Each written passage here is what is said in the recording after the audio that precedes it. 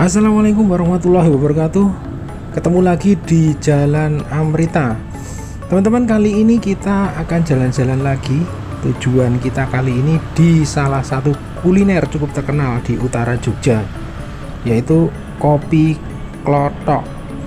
Perjalanan kita ke Kopi Klotok ditempuh sekitar 49 menit ya Dengan jarak 20 km ke arah utara Jogja Uh, saat ini uh, jam menunjukkan pukul 16.30 ya, atau setengah lima sore dengan kondisi cuaca yang berawan. Oke teman-teman ikuti perjalanan kita ke Kopi Klotok.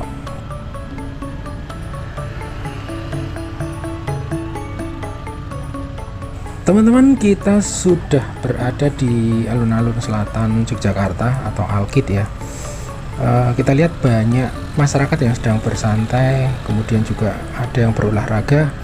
Dan di sini mem memang merupakan area publik yang selalu dipenuhi masyarakat terutama saat uh, sore atau malam hari ya.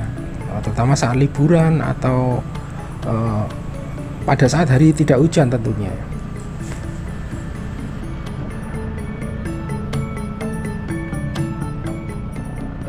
Nah teman-teman yang paling terkenal di alun-alun selatan ini uh, yang disebut dengan masangin atau masuk antara dua beringin ya.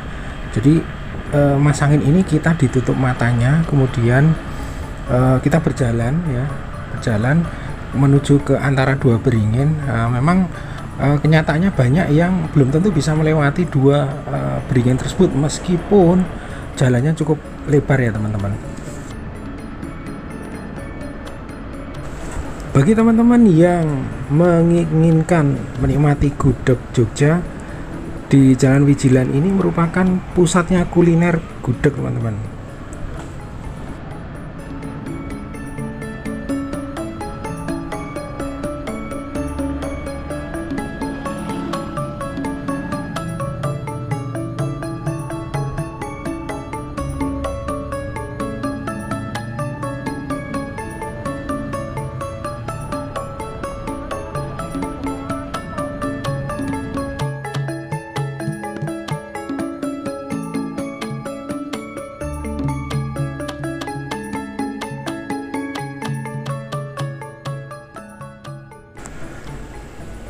Teman-teman kita sudah mulai memasuki kawasan alun-alun utara Yogyakarta ya.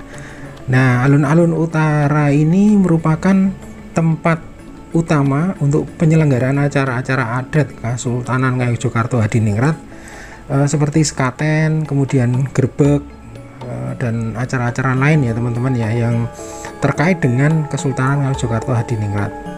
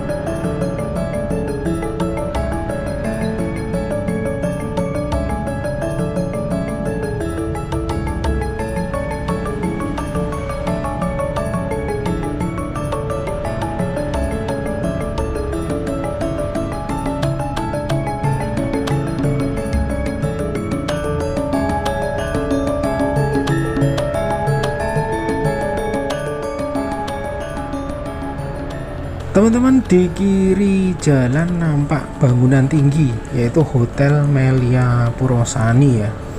Salah satu hotel bintang 5 di Jogja yang berdiri sejak tahun 1994. Jadi usianya sampai sekarang sudah 27 tahun.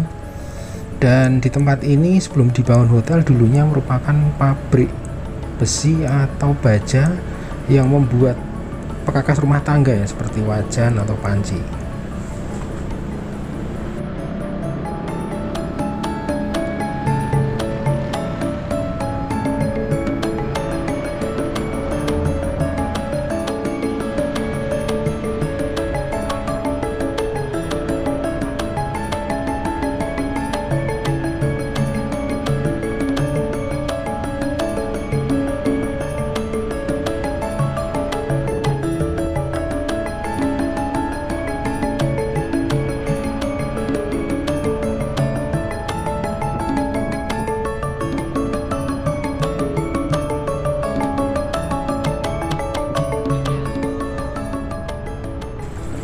Teman-teman kita lihat di depan merupakan pusat parkir terpadu ya yaitu bangunan yang berlantai tiga. Jadi pusat parkir di Jalan Abu Bakar Ali.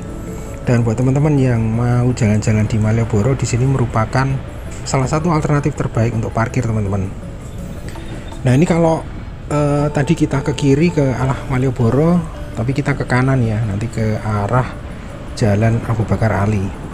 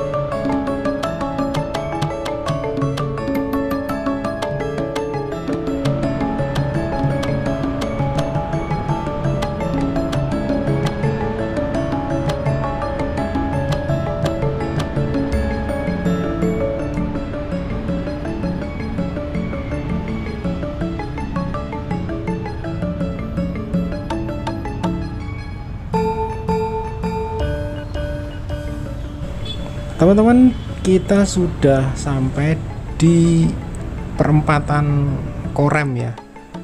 Atau perempatan Gramedia ya. Karena di sisi kiri kita ini ada toko buku Gramedia jadi toko buku yang sudah lama berdiri dan bahkan sekarang dipugar bangunannya makin lama makin cantik ya. Dan di sebelah kanan kita lihat eh, ada pemugaran trotoar ya Nah trotoar Jalan Jenderal Sudirman yang sebelah uh, kanan mungkin akan disamakan dengan trotoar yang sebelah kiri yang memang sudah jadi ya teman-teman. Dan uh, terlihat keren ya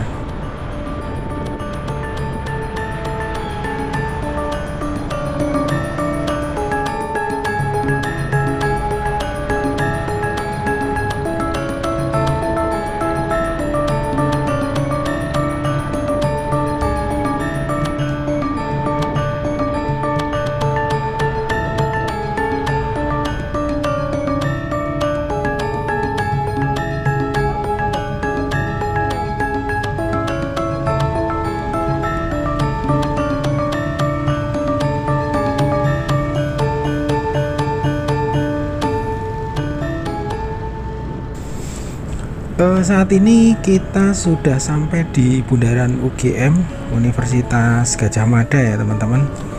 UGM merupakan universitas tertua di Indonesia dan saat ini UGM juga merupakan salah satu kampus terbaik di Indonesia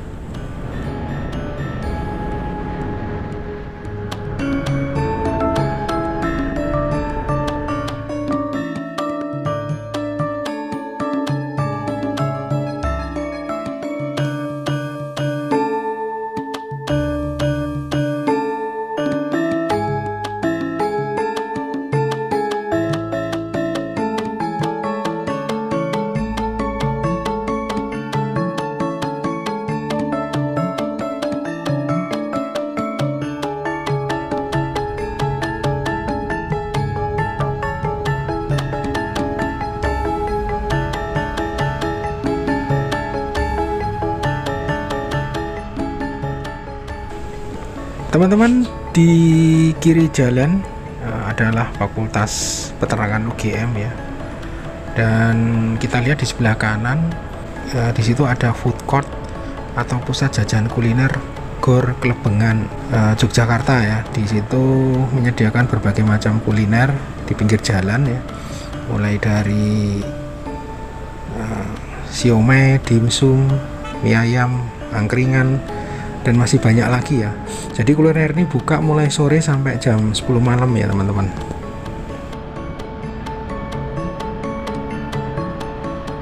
Di sebelah kiri kita ada Fakultas Kehutanan Universitas Gajah Mada.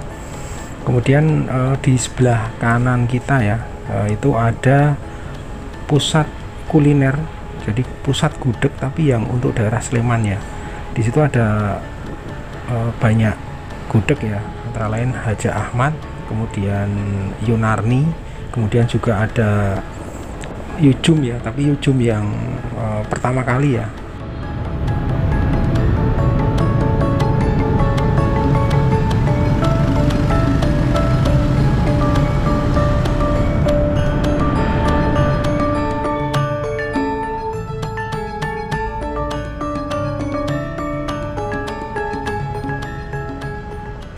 teman-teman kita sudah sampai di jalan Kali Urang ya.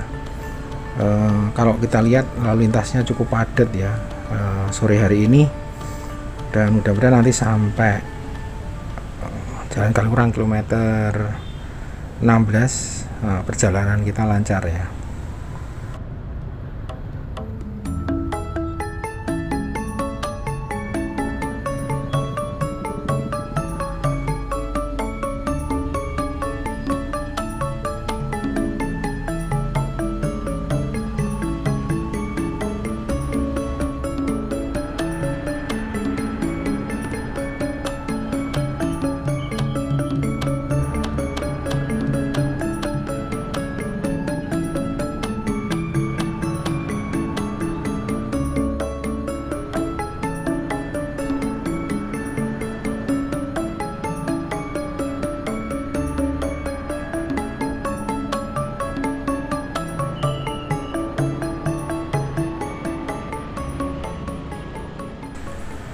e, berjalan ke utara kalau kita lihat ya di jalan kali orang beberapa tahun terakhir mungkin lima tahun terakhir ada yang berbeda. Jadi di sini ada kemunculan e, apartemen dan hotel baru ya yang bangunannya cukup tinggi ya.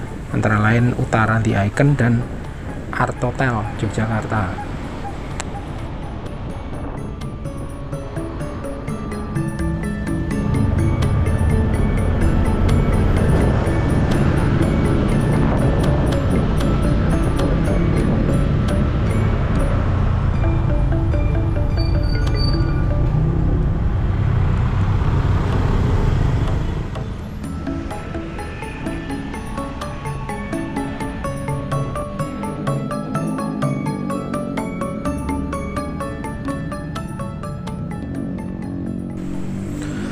kita sudah berada di perempatan Kentungan ya teman-teman. Dan di sini telah dibangun underpass baru ya di ring roadnya di jalan ring road.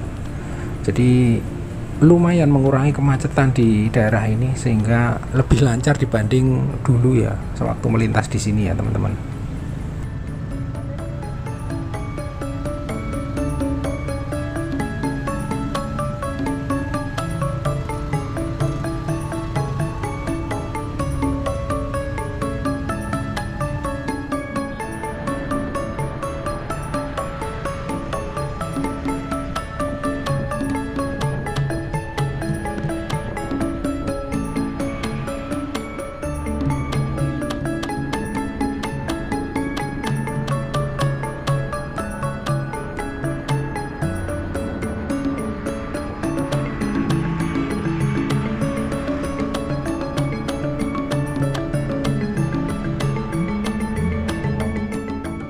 kita saat ini di pertigaan Dayu atau pertigaan Jalan Damai dengan Jalan Kaliurang.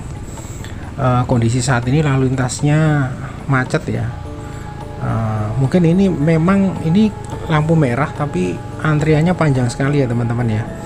Jadi kalau kemacetan biasanya terjadi uh, pas pulang kerja atau pas pagi hari ya. Mungkin teman-teman kalau lewat sini mesti bersabar ya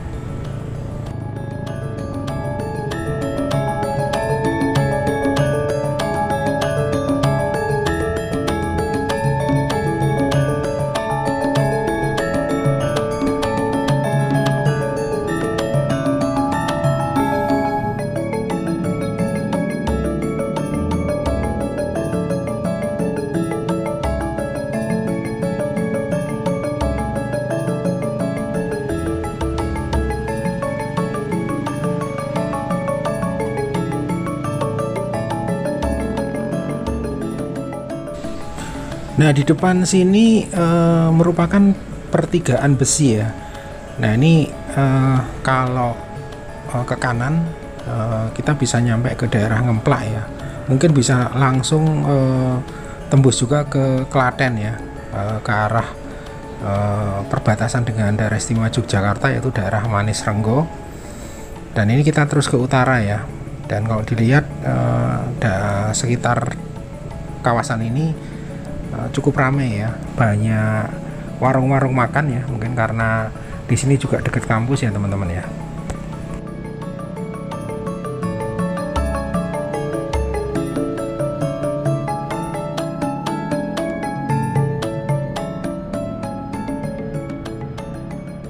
Di sebelah kiri kita teman-teman adalah kampus swasta terkenal di daerah istimewa Yogyakarta yaitu Universitas Islam Indonesia atau UII uh, eh, kemudian kita lurus terus dan ini ada tulisan kopi klotok.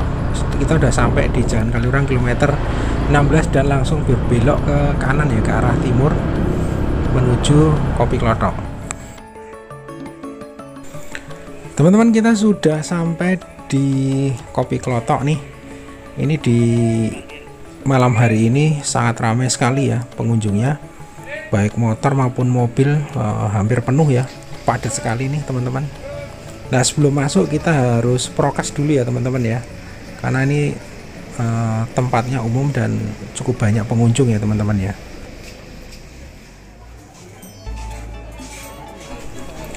Nah teman-teman kita sudah berada di dalam uh, kopi klotok ya.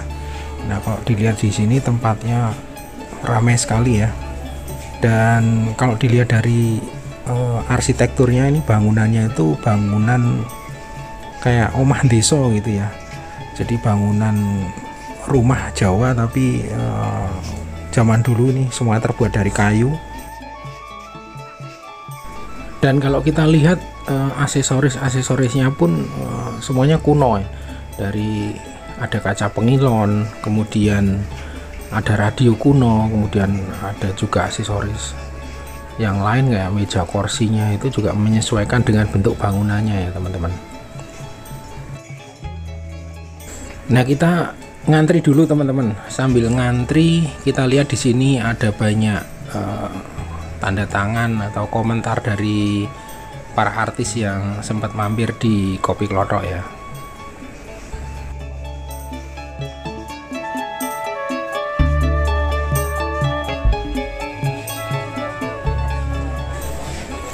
Nah ini ada yang unik ya teman-teman ya.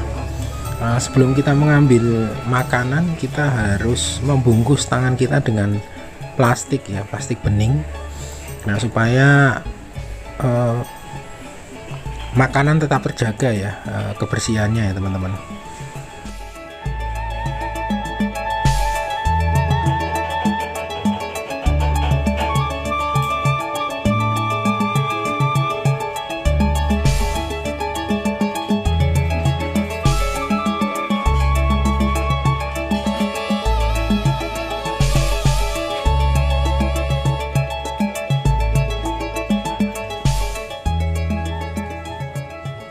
Nah teman-teman kalau dilihat dari jenis sayurannya ya uh, ataupun lauknya ini sebenarnya uh, cukup sederhana ya. Sayurannya itu jawani banget ya istilahnya. Ini ada sayur lodeh kemudian ada uh, sop kemudian ada sayur gori ya kemudian ada uh, lodeh jipang ya. Dan lauknya pun uh, ada tahu tahu bacem. Kemudian ada tadi apa namanya telur ya. Itu telur itu mungkin yang paling favorit ya di sini ya teman-teman.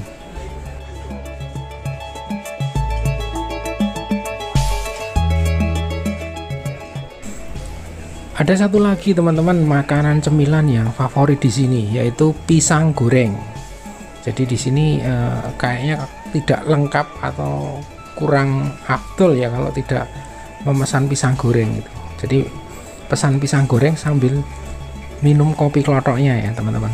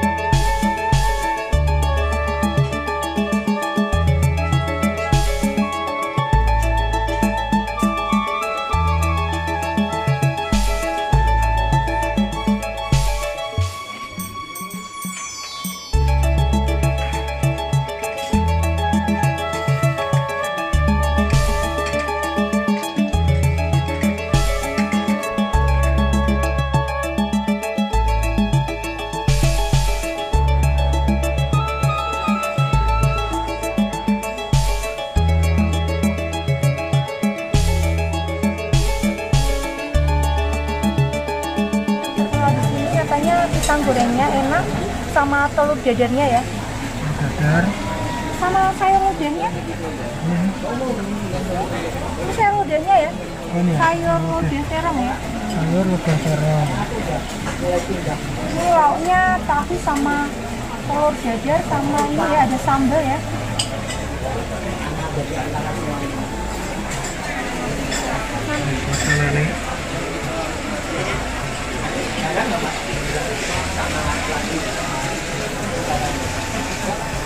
Malam hari mas seperti ini. Tak merona ya jahe iya nuwun ya? Oke. Oke.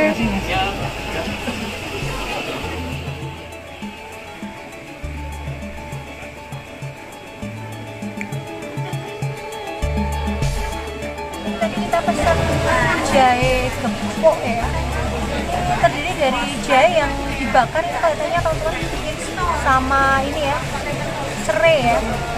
Batang serai dikasih air panas. Ini jahenya yang udah dibakar ini digeprek atau digepuk ya.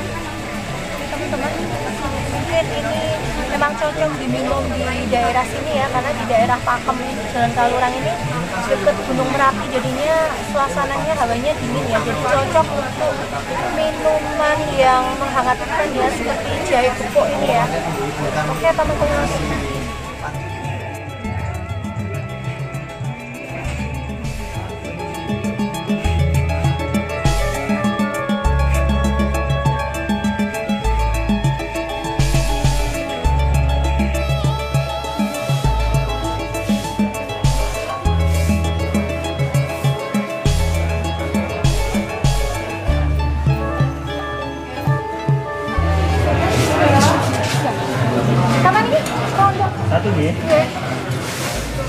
dua tiga ratus. dua tiga ratus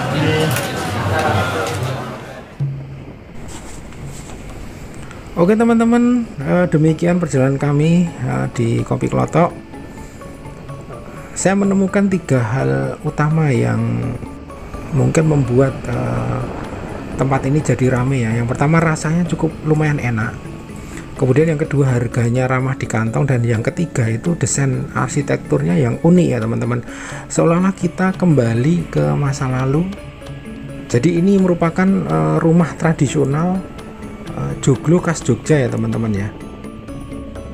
Dan eh, terima kasih teman-teman sudah menonton video ini sampai akhir. Sampai jumpa di video berikutnya. Wassalamualaikum warahmatullahi wabarakatuh dan thank you.